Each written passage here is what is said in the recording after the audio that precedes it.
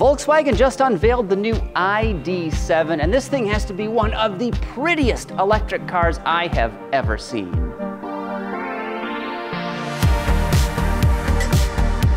The giant German automaker announced the ID7 back in January, revealing the car at CES, though the version on display in Las Vegas was covered in a special digital camouflage, so it was hard to tell what the ID7 really looked like.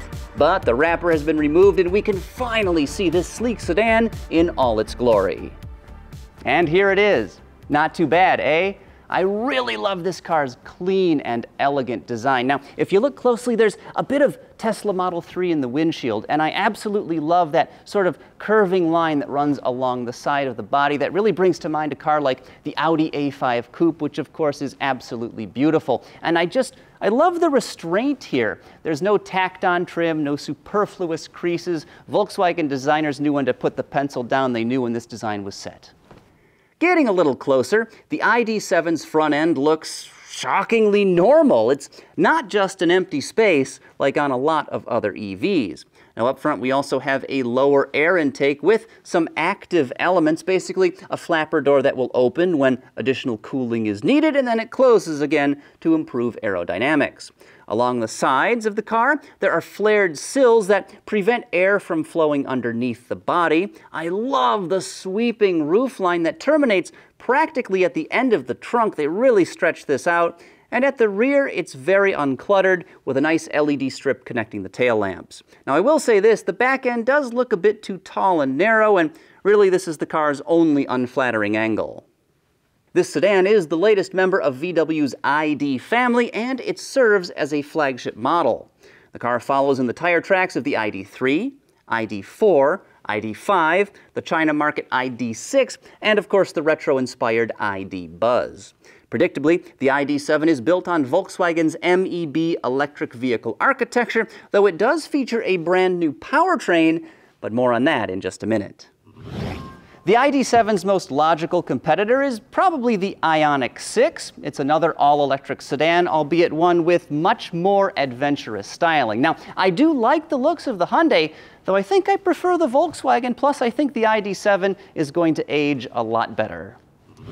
Cementing their rivalry, the ID7 and Ioniq 6 are pretty much the same size. This car is about 195 inches long from bumper to bumper, about 4 inches greater than the Hyundai. The wheelbase is roughly 117 inches, which is right in line with the Ioniq 6. These cars are both roughly the same width and height, though the ID7 does have a significant advantage when it comes to trunk space. It's got about 18.8 cubic feet opposed to the Hyundai, which has just 11.2. However, the Ioniq 6 does win some points back because it should DC fast charge much quicker.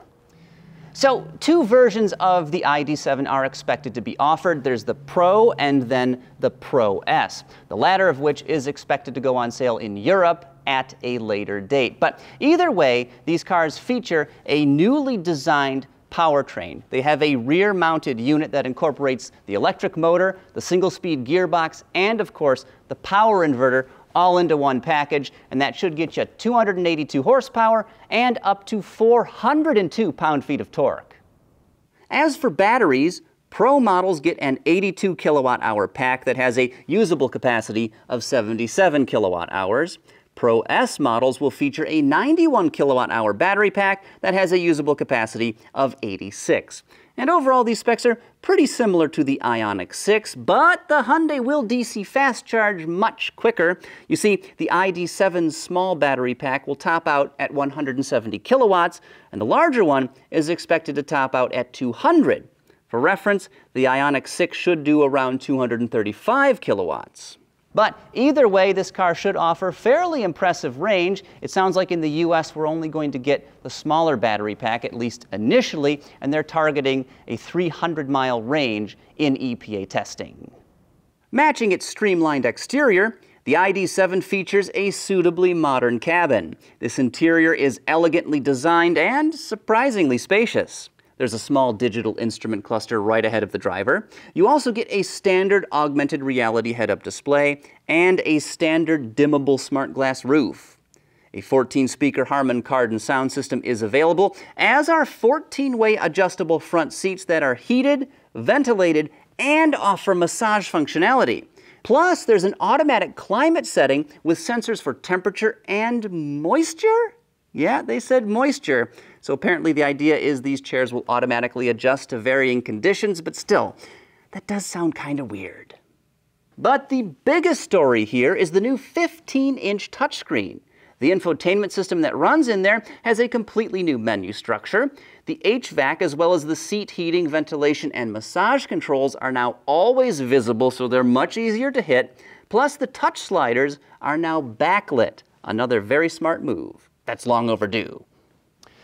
The new Volkswagen ID7 will be assembled in Emden, Germany for both Europe and North America, and the car is expected to go on sale in the old world starting this fall. However, drivers in both China and the US will have to wait until next year before they can get behind the wheel of a new ID7.